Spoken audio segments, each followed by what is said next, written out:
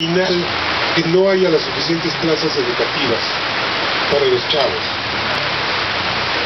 Y vamos a imaginar, vamos a empezar por imaginar un país en el que los muchachos egresados de la educación superior tengan empleos, porque se pueden crear empleos. Felipe Calderón los creó en el sector delictivo. Sí, él sí es el presidente del empleo. Él ha creado un montón de plazas de sicarios, pero miles, ¿eh? Y no sé cuántas de embalsamadores y de médicos forenses. Pero creo que el conjunto del país puede imaginarse una economía que sea capaz de darle cobijo a estos jóvenes. Y nos toca imaginarla a nosotros. Y nos toca imaginarla en colectivo. Y nos toca imaginarla en asambleas como esta, en reuniones como esta, confluyendo, haciendo encontrando los puntos comunes de todas estas resistencias de las que yo les hablaba. Y que yo no les digo, afílense a esta o afílense a esta otra, o entréguense a esta. No.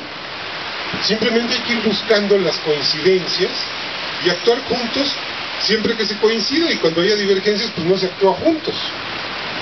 Yo mismo eh, he tenido que estar, por ejemplo, ante el movimiento de Sicilia, yo formo parte del colectivo Más Sangre,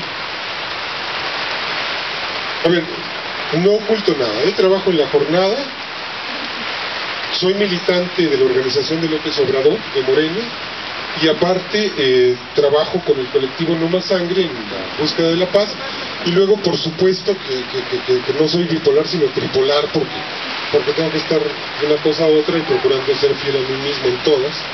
Pero les decía, el colectivo No Más Sangre, por ejemplo, no está de acuerdo con Javier Sicilia en que Javier Sicilia vaya y pese a Mario Fabio, ¿no? Porque decimos, bueno, pero si Mario Fabio es parte de la delincuencia, entonces tienes que ir a buscar al Chapo para plantarle un beso también. ¿O en qué quedamos? Pues ¿por qué nada más escoges a un cártel para besarlo? ¿Y por qué abrazar solo a Calderón y no a Alaska? ¿O a la Tota? Bueno, no estamos de acuerdo con él en eso, pero estamos de acuerdo con él en la absoluta urgencia de imponer la paz en este país. Ahí actuamos conjuntamente. No nos vamos a pelear por los puntos en los que divergimos. Tú quieres ir a darle besos en la trompita a Xochitl, allá tú. No te, no te lo vamos a impedir, no te vamos a armar una manifestación por eso. Pero cuando salgas a la calle en contra de la ley de seguridad nacional, vamos a estar contigo. Y hemos estado con él, ¿no? Esta observación del compañero, si estuviera aprobada la Ley de Seguridad Nacional, ahorita estaría, eh, estaríamos violándola, porque estaríamos infringiéndola como expresión de un movimiento sindical que está en la calle. Imagínense la gravedad de decir, tendrían la justificación legal para echarnos granaderos, y pefepos y los robocops esos horrendos con los que andan disolviendo.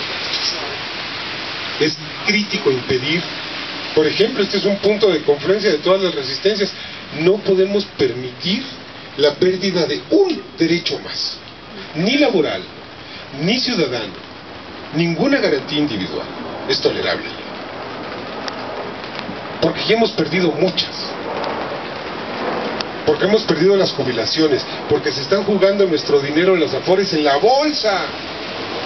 Un día lo van a ir a jugar a Las Vegas y no hay impedimento legal para evitar que los metan a las maquinitas de Las Vegas. No podemos entonces permitir una pérdida más en este sentido. La ley de seguridad nacional sería una pérdida terrible. La reforma laboral, que la están cocinando y la están siniestreando, sería una pérdida terrible. Al contrario, vamos a imaginar en qué país va a encontrar chamba tu hijo. ¿En qué México? Pues vamos construyendo ese México entre todos, en la medida en que consideramos.